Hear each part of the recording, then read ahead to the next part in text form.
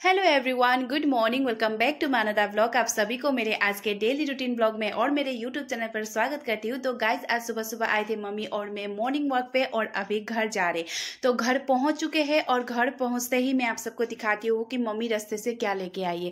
Mummy रस्ते से गोबर लेके आए क्योंकि फूल में डालने के लिए। तो देखिए, आप मम्मी का जो फूल के लिए जितना ऑब्जेक्ट्स है ना, कितना ज़्यादा है। तो वो जहाँ भी देखते हैं ना, गोबर वो उठा के लेके आती है फूल में डालने के लिए। तो ये सारे है इंडोर प्लांट जो मैंने रात में पानी डालने के लिए बाहर रख दिया था और रात भर जो रात भर रहने से ना वो अच्छा सा मतलब अच्छा सा ग्रोथ होगा इसीलिए मैंने रात भर बाहर रख दिया था। तो अभी तो अंदर लेके आना है क्योंकि धूप देगा तो वो आ, सारा मतलब मुरझा जाएगा इसीलिए अभी मैं यहाँ पे अच्छे से झाड़ू लगा रही हूँ क्योंकि आ, जब पॉट वगैरह रखते हैं ना तो रोज़ रोज़ अच्छे से झाड़ू नहीं लगाया जाता रोज़ रोज़ ऐसे पॉट निकाल के उठा के फिर झाड़ू लगाया नहीं होता क्योंकि इतना भारी भारी पॉट हमेशा ही नहीं उठा सकते इसीलिए। तो आज का जो आ, मैंने सोचा कि सारा अगर पॉट बाहर ही है तो मैं आज अच्छे से झाड़ू लगा दूँगी। उसके बाद सारा जितना भी इंडोर प्लांट वगैरह था सारा मैंने अंदर रख दिया है क्योंकि अभी धूप अच्छे से लगेगा तो ये सारा मुरझा जाएगा और अभी एक हफ़्ते तक हम लोग का इसको पानी देने की भी ज़रूरत नहीं है और बाहर निकालने की भी ज़रूरत नहीं है। तो आज का जो आ, मेरा सुबह सुबह का काम बस इंडोर प्लांट अंदर रख दिया। उसके बाद आज मैं हेयर में एक मास्क लगाने वाली हूँ। मतलब जो हैना होता है ना वो लगाने वाली हूँ तो मैंने सोचा आपके साथ भी शेयर करूँ। तो ये है जो हैना होता है ना जो आ, क्या बोलते हो जो मेहंदी होता है मेहंदी का जो ऑर्गेनिक जो पत्ता होता है ना वो ये है।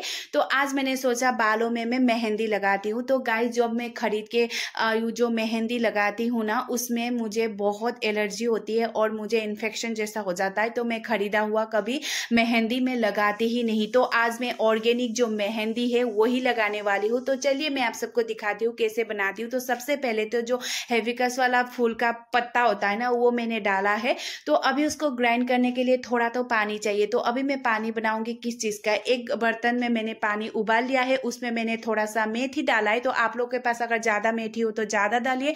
मेरे मेरे पास कम था तो मैं कम डाली हूँ। तो उसके बाद यहाँ पे थोड़ा सा नींबू निचोड़ लिया। उसके बाद फिर यहाँ में चाय पत्ती का थोड़ा चाय पत्ती डाली क्योंकि इसका जो कलर आता है ना, बहुत अच्छा होता है। और बालों के लिए भी बहुत अच्छा है और नींबू इसीलिए डालते हैं क्योंकि जो आपका डेल्थ स्किन वगैरह है ना, वो सारा निकल जाएगा जो बालों में होता है। उसके बाद थोड़ा सा अजवाइन डाला है और इसको अच्छे से आप सबको उबालना है जब तक ये थोड़ा सा कम ना हो जाए और रंग ज़्यादा गड़ा ना हो जाए। उसके बाद फिर मैं जो मेहंदी ग्राइंड कर रही हूँ, उसमें मैं थोड़ा सा एलोवेरा जेल डालने वाली हूँ। तो आप लोगों के पास अगर जो ऑर्गेनिक एलोवेरा नहीं है, जो जो खरीदा हुआ होता है, आप वो डाल सकते हो, लेकिन मेरे पास घर में एलोवेरा का पेड़ था तो मैंने सोचा पौधा था तो मैंने सोचा वो एलोवेरा डाल दूँगी। तो इसीलिए मैं ऑर्गेनिक जो एलोवेरा है, वही डाल रही हूँ। तो अभी मैं ये काट के निकाल रही हूँ। तो अगर आपके पास ऑर्गेनिक एलोवेरा है तो अगर वो डाल रही हो तो वो एलोवेरा काटने के बाद थोड़ी देर रख देना, क्योंकि उसमें जो येलो येलो पानी जैसा निकलता है, वो अगर निकल जाए, उसके बाद ही डालना। उसके बाद जो पानी मैंने बॉईल किया था, देखिए, गाढ़ा हो गया है तो अभी मैं छन्नी से छान कर इसको ठंडा करूँगी, उसके बाद डालूँगी। तो अभी मैं यहाँ पे ग्राइंडर में पीसने वाली हूँ, जो मेहंदी का पत्ता है वो, और यहाँ पे थोड़ा थोड़ा जो पानी मैंने गाढ़ा किया था, जो उबाला था, वो पानी डाल के मैं ग्राइंड करूँगी। तो अगर आप सभी घर में ऐसे लगाते हो तो मुझे कॉमेंट करके ज़रूर बताइएगा। तो मैं तो पहले तो नहीं लगाती थी, लेकिन अभी मैं लगाने का स्टार्ट किया है, क्योंकि मेरे बालों में ना थोड़ा सा रफ हो गया है, उसके बाद व्हाइट व्हाइट हो गया है, इसीलिए। तो देखिए, मैंने मेहंदी को पीस भी लिया है और ऐसा ग्रीन कलर का हुआ है ना, क्या ही बताऊँ? तो अभी इसको मैं फाइव घंटे, पाँच घंटे ऐसे ही छोड़ दूँगी, ढके अगर आप लोग ओवरनाइट रख दोगे ना तो बहुत अच्छा है, रात भर रखोगे तो और भी अच्छा। तो मैंने पाँच घंटे रख दिया है तो जब तक मेहंदी पाँच घंटा हो जाएगा, तब तक मैं और काम कर लेती हूँ। तो फिर मैं यहाँ पे बाहर झाड़ू लगाने आई तो आप फिर अंदर आई तो मम्मी ने इतना सारे कपड़े आज भी भिगो के रखा है। मतलब आज तो मम्मी कितना सारा कपड़ा कपड़ा कपड़ा बस मम्मी कपड़ा ही धो रहे और मुझे मेरी, मैं जो यहाँ पे हूँ ना, मेरा पूरा फुल फ़ायदा उठा रहे। तो देखिए ब्लैंकेट दो तो दो सुखाया था, लेकिन फिर दूसरा भी मम्मी ने भिगो दिया। तो फिर यहाँ पे अभी ब्रेकफास्ट टाइम हो गया है तो मम्मी ने मटर, आलू, उसके साथ जो हम लोग का गुंदरुक होता है ना, वो डाला था। तो ब्रेकफास्ट भी कर लिया है, उसके बाद अभी कपड़ा धोना है, क्योंकि अभी मेहंदी लगाऊँगी तो फिर कपड़े धोने का मन नहीं करेगा। तो इसीलिए जितना भी कपड़ा था, वो मैंने धो दिया है। तो आप लोग एक बात बोल रहे थे कि तुम काम कर आ, मतलब वीडियो बनाने के लिए काम करते हो। तो गाइस अगर मैं वीडियो बनाने के लिए ही काम करती हूँ या काम करती ही वीडियो बनाती हूँ तो बात तो एक ही है ना वीडियो भी बन जाता है काम भी हो जाता है तो एक गोली में दो शिकार हो जाता है तो और भी अच्छी बात है ना। तो आप लोग ऐसे बोलते हो कि मतलब वीडियो बनाने के लिए काम करती हो वीडियो बनाने के लिए काम करो या काम करने के लिए वीडियो काम करते करते वीडियो बनाओ बात तो एक ही बात है। आप लोग एक बार सोच तो लीजिए बोलने से पहले। तो यहाँ पे मैंने पर्दे वगैरह सारा अच्छे से हाथों से ब्रश कर करके धोया, उसके बाद फिर पानी से भी धो दिया, उसके बाद फिर अभी मैं मेहंदी लगाने वाली हूँ। तो देखिए, पाँच घंटे के बाद जो ग्रीन कलर का मेहंदी था, वो अभी पूरा गाढ़ा रंग हो गया है क्योंकि इसका जो रंग है वो निकलने लगा है। तो अभी मैं अप्लाई करूँगी अपने हेड में तो मैं खुद कभी नहीं करती गाइस क्योंकि खुद करने से ना क्या होता है, अच्छे से जड़ों में नहीं पहुँचता है तो फिर अंदर अंदर तक नहीं जाता है। तो आज मैं मम्मी से लगा रही हूँ, और गाइस जब मैं ससुराल में होती ना तो ये ये सब कभी नहीं करती, क्योंकि ना टाइम नहीं मिलता है, काम होता है, उसके बाद आलस भी आती है, फिर मन नहीं करता। तो जब भी मैं मायके आती हूँ तो मायके आने के बाद ही मेरा ये सारा काम हो जाता है, क्योंकि क्योंकि ऐसा लगता है कि आलस भी नहीं आता और जब मैं मायके आती हूँ, तब याद आता है कि मेरा स्किन भी ख़राब हो चुका है, बाल भी ख़राब हो चुका है। तो फिर मैंने हेयर में जो मास्क है, वो लगा लिया है, मेहंदी का। उसके बाद अभी मैं थोड़ा सा स्किन केयर भी करने वाली हूँ। तो आप लोग जानना चाहते हो कि ये मैंने किस चीज़ से बनाया तो चलिए अभी देखते हैं।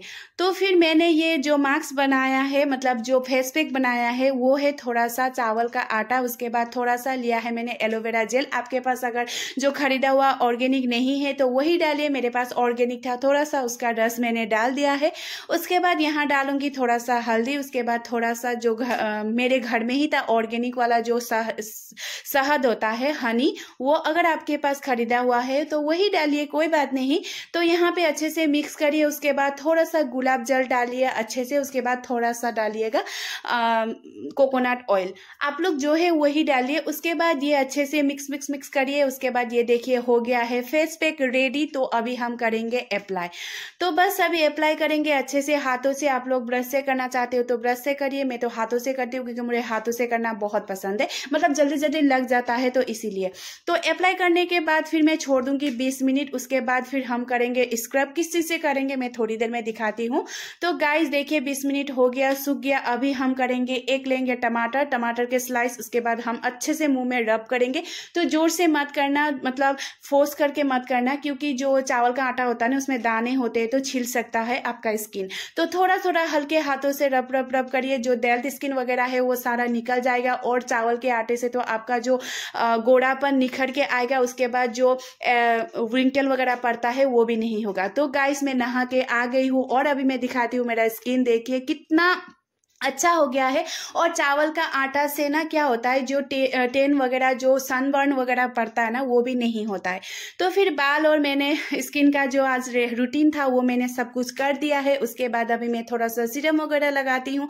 उसके बाद मॉइस्चराइजर मॉइस्चराइजर वगैरह लगाती हूँ। उसके बाद बाल वगैरह पोछ के फिर चली जाती हूँ। मम्मी क्या करते देखते हैं तो आज बालों का जो खुशबू है वो बहुत ही अच्छा आ रहा है क्योंकि मेहंदी लगाया था ना इसीलिए। तो सिंदूर वगैरह लगा लिया बिंदी लगा लिया तो चलिए देखते हैं। आज मम्मी मम्मी के किचन में क्या बन रहा है स्पेशल तो मम्मी ने बोला कि आज तो कुछ नहीं है, आज नॉन वेज वगैरह नहीं है, आज हम खाएँगे सादा खाना सिंपल खाना। तो यहाँ पे भिंडी आलू बीन्स आलू, उसके बाद दाल, चावल बनेगा। तो मम्मी आज जल्दी जल्दी बना रही क्योंकि आज हम लोग यहाँ पे इतना धूप इतना धूप इतना धूप हुआ है कि खाना जल्दी जल्दी बनाकर ढककर रख देंगे, जब भूख रहेगा तब खाएँगे। तो मम्मी ने खाना रेडी कर चुके हैं, अभी हम खाएँगे खाना। तो चलिए दिखाती हूँ, सबसे पहले तो भिंडी की सब्ज़ी बीन्स की सब्ज़ी, उसके बाद चावल, उसके बाद दाल और जो आम का अचार था, उसके बाद प्याज और नींबू। आज मैंने खीरा नहीं लाया क्योंकि मुझे जाने का मन ही नहीं किया लाने के लिए। उसके बाद फिर अभी खाएँगे हम खाना। उसके बाद थोड़ी देर रेस्ट करेंगे। रेस्ट करने के बाद मिलती हूँ आप सबसे। तो गाइस थोड़ी देर रेस्ट किया अभी चार फोर थर्टी होने वाला है तो मैं इतना सोई इतना सोई, पता नहीं, इतने देर तक सोती रही। और हम लोग ना अभी इतने गर्मियों में ना ड्राइंग रूम में ही सोते हैं, नीचे कपड़े बिछाकर, क्योंकि रूम में इतना धूप इतना धूप होता है और अभी तो गद्दे वगैरह भी सुखाया था इसीलिए। तो देखिए देखिए बाहर कितना धूपे में दिखाती हूँ फोर थर्टी हो रहा है, शाम होने वाली है, लेकिन अभी भी धूप कितना कड़क है।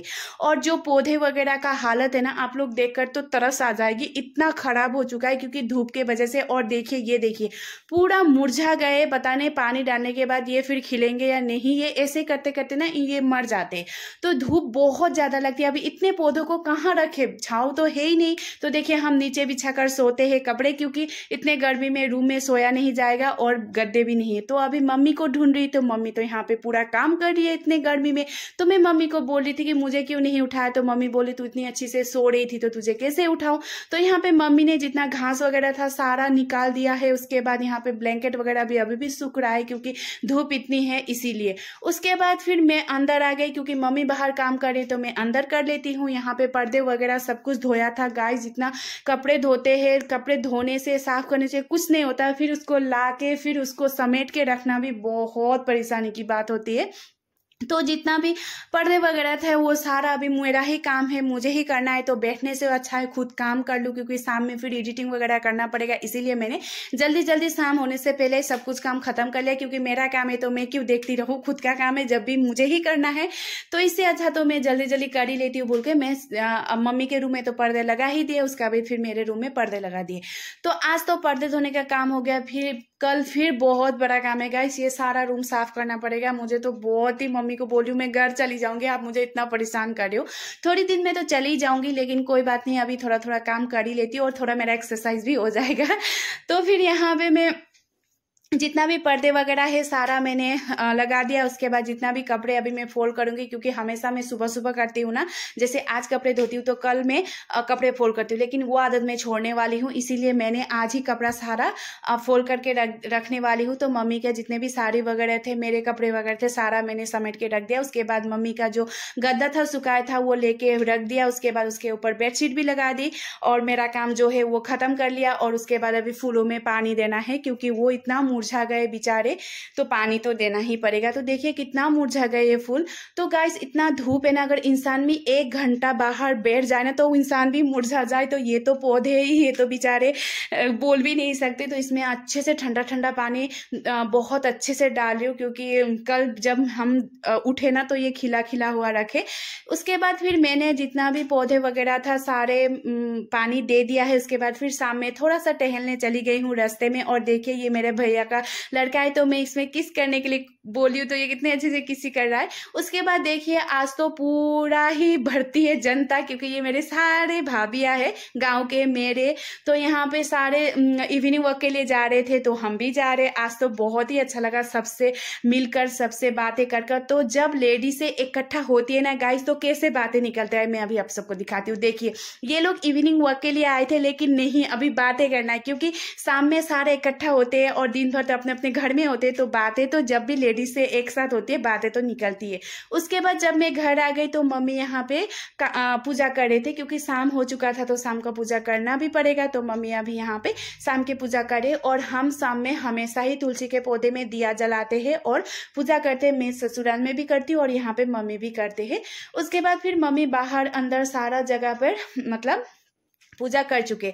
और फिर गाय शाम हो चुका है तो आज का वीडियो में यहीं पे एंड करती हूँ। आशा करती हूँ आप सबको बहुत अच्छा लगा होगा। अगर अच्छा लगे तो लाइक शेयर कमेंट कर दीजिएगा। और मेरा आज का ब्लॉग थोड़ा सा लंबा है उसके लिए सॉरी सो so, मेरे ब्लॉग एंड तक देखने के लिए thank you so much guys आज के लिए इतना ही। Bye bye take care bye फिर मिलती हूँ।